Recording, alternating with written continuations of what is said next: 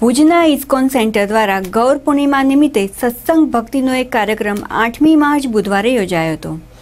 ISKCON ગુજરાતના પ્રમુખ અને જીબીસીના ઝોનલ સેક્રેટરી જસુમતી નંદનદાસ ભુજના પ્રવાસે છે. તેઓ ગૌર પૂર્ણિમા નિમિત્તે ચૈતન્ય મહાપ્રભુ વિશે વક્તવ્ય આપશે. તેમના સત્સંગ સંકીર્તનનો કાર્યક્રમ રાત્રે આઠથી નવ વાગ્યા દરમિયાન હરિપર રોડ પર આવેલા સરદાર પટેલ નગરમાં આવેલા ઇસ્કોન કેન્દ્રમાં યોજાશે. ઇસ્કોન દ્વારા સમગ્ર વિશ્વના એકસો સાત દેશોમાં કુલ સાતસો જેટલા શિખરબદ્ધ મંદિરોનું નિર્માણ થયેલું છે. ભુજમાં પણ આ પ્રકારે જ મંદિર નિર્માણના ઉદ્દેશથી તેઓ નિરીક્ષણ અર્થે આવેલા છે.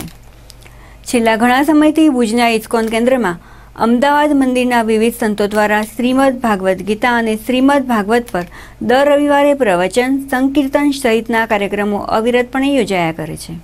નામ જશોમતી નંદનદાસ છે. હું ઇસ્કોન ગુજરાતનો ઝોનલ સેક્રેટરી છું અને અમદાવાદનો પ્રેસિડન્ટ છું. અને આજે ભુજના ભક્તોના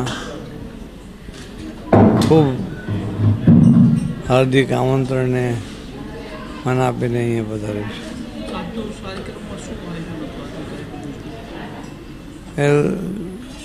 અહીંયા આગળ હિતેશભાઈ વ્યાસ જે બહુ ઉત્સાહી ભક્ત છે, એમણે એના મિત્ર ગોપાલભાઈ પટેલ પાસે ઇસ્કોન માટે જમીન મંદિર બાંધવાની વિનંતી કરી હતી. તે એમણે માની રાખી અને એનો પાંચ એકર જમીન મંદિર માટે દાનમાં આપી. એ પ્રસંગે અહીંયા હાજર રહ્યો.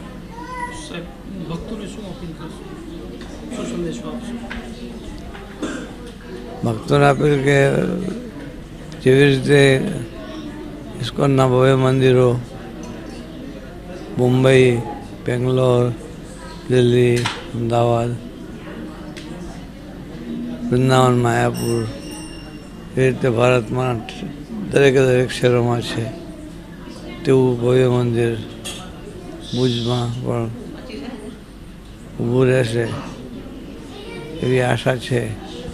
તો તેમાં યથાયોગ્ય પોતે સહકાર આપે. મારું નામ હિતેશ વ્યાસ છે. હું ભુજનો જ છું. અને અમે ઇસ્કોન દ્વારા બધા ભક્તો અમારી સાથે અત્યારે જોડાયેલા છે. અમે બધા આજથી પાંચ વર્ષ મિનિમમ થઈ ગયા. અહીં અમદાવાદ મંદિર દ્વારા દર રવિવારે અલગ અલગ સંતો આવે છે. એમના દ્વારા સવારે ભાગવતમના ક્લાસ આઠથી નવ લેવાય છે અને રાત્રે છથી આઠ સુધી ભગવદ્ ગીતા ઉપરના શ્લોક ઉપર પ્રભુજી જે આવે છે સંતો એ વિગતવાર સમજાવે છે અને કોઈને પણ કાંઈ પ્રશ્ન હોય તો એનો વ્યક્તિગત અને જાહેરમાં પણ સમજાવવાની કોશિશ હોય છે. ત્યારબાદ આઠથી નવ પ્રવચન બાદ અમે બધા માટે ભોજન પ્રસાદનું અહીંયા આયોજન કરીએ છીએ. અને આ જે ભોજન પ્રસાદ છે એ અમે બધા ભક્તો જ બનાવીએ છીએ. કોઈ બજારમાંથી લઈને નથી બનાવતા. આ એક અવિરતપણે પાંચ વર્ષથી અમારી આ પ્રોગ્રામ ચાલી રહ્યું છે. સરદાર પટેલ નગર ખાતે હરિપર રોડ ઉપર આ પ્રોગ્રામ ચાલે છે. આજના અતિથિ છે જે આપણા ઇસ્કોનના ગુજરાતના પ્રેસિડન્ટ છે અને જીબીસીના એટલે જીબીસી એટલે અમારા આખા વર્લ્ડ આખાનું જે ગવર્નિંગ કાઉન્સિલિંગ બોડી છે. એના ઝોનલ ચેરમેન છે. અને અહીં કને આપણે ગોપાલભાઈ કરીને એક મારા મિત્ર છે અને એમના દ્વારા એક જમીન દાન અપાઈ છે. તો ત્યાં મંદિર બનાવવાના હેતુ માટે અમે જમીન એ લીધી છે અને એ ફાઇનલ થયું. આજે એના નિરીક્ષણ માટે પ્રભુજી આવ્યા હતા એ જમીન જોવા માટે.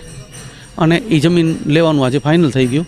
અને એ કને એ જમીન અને બીજી પણ જમીન હજી લેશું અમે, એમાં ના નહીં. અને અહીં કને ભવ્ય જેવા તમે જોયા હશે કે મુંબઈ છે, દિલ્હી છે, બેંગ્લોર છે, માયાપુર છે, એવા ભવ્યમાં ભવ્ય મંદિર જે ઇસ્કોનના હોય છે, એવા અતિ ભવ્ય મંદિર અહીંયા નિર્માણ થશે. સાથે સાથે સાંસ્કૃતિક જે હોય છે, વૈદિક શાળાઓ જેવું, એનું પણ ભવિષ્યમાં આયોજન થશે. ત્યારબાદ ગૌશાળા પણ અમે બનાવવાના છીએ. પુસ્તકાલય પણ બનાવવાના છીએ. આ બધું નેક્સ્ટ પોઝિશનમાં બધું આયોજન અમારું છે. તને અપીલ કરીશ કે જે ભગવદ્ ગીતા છે, એ આપણું મૂળભૂત વસ્તુ છે. અને લોકો એમ સમજતા હોય છે કે ભગવદ્ ગીતાને અગરબત્તી કરી પગે લાગીને રાખી દેવાય. જ્યારે ભગવદ્ ગીતા એ છે કે આપણા જીવનનું ગાઈડલાઇન્સ છે. જેવી રીતે આપણે કોઈ ગાડી લઈએ તો એની સાથે મેન્યુઅલ બુક આવે છે. એ મેન્યુઅલ બુક એટલા માટે આવે છે કે આપણે કેવી રીતે ગાડી ચલાવવી, કેવી રીતે જીવવું તો આ મેન્યુઅલ બુક છે ગીતા, જે આપણા જીવનને કેવી રીતે જીવવું, કેવી રીતે સમજવું. આ સમસ્ત કોઈ એક ધર્મ માટે, કોઈ સંપ્રદાય માટેનું નથી. આ ભગવદ્ ગીતા દ્વારા સમસ્ત માનવ જીવનું કલ્યાણ થાય એ હેતુથી આ ઇસ્કોન સતત પ્રયત્નશીલ રહ્યો છે. અને જે મોદીજી કહે છે, વસુધમ કુટુંબમ ભવમ. તો એનું એક શ્રેષ્ઠ ઉદાહરણ ઇસ્કોન દ્વારા છે કે જેની અંદર તમને જાપનીઝ પણ મળશે, આફ્રિકન પણ મળશે, ચાઇનીઝ પણ મળશે અને યુરોપિયન કન્ટ્રીના ભક્તો પણ મળશે. ઇન્ડિયન તો છે જ. તો આ એક તમામ પ્રકારોને એક જીવન જીવવાની સાચી જે ભગવાન શ્રી કૃષ્ણ કહી ગયા છે, એ સમજાવવાની આ લોકો બહુ સારી કોશિશ કરે છે. અને આજ દી સુધી જેટલા પણ મંદિરો છે, એમાં માત્ર મેં જોયું છે કે આરતી, કીર્તન થાય છે. પણ રેગ્યુલરી ભગવદ્ ગીતા કે ભાગવતમ સમજાવવામાં આવતી હોય, એવો એકમાત્ર ઇસ્કોન મંદિર છે. જ્યાં રેગ્યુલર કોઈ પણ મંદિરમાં જશો તો આ પ્રોગ્રામ રેગ્યુલર ચાલે છે. તો એનો સર્વે ભક્તોએ લાભ લેવા. હું આ તરફથી ખાસ પ્રાર્થના કરું છું, જેમ બને એમ બધા ભક્તોએ વધારેમાં વધારે લાભ લેવો.